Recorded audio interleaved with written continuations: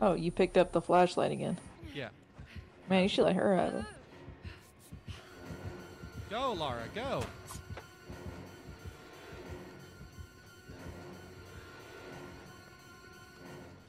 I was kind of hoping you would come after me, but I guess not. Well, no, you're she's the easier target. And she's already injured. Fair point.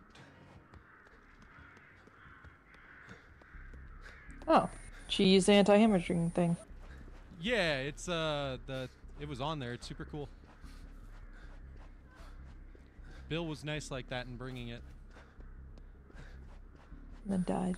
I know, poor Bill, but his sacrifice was greatly appreciated. She's definitely going down again. Yeah. Oh, nope. Oh, not yet.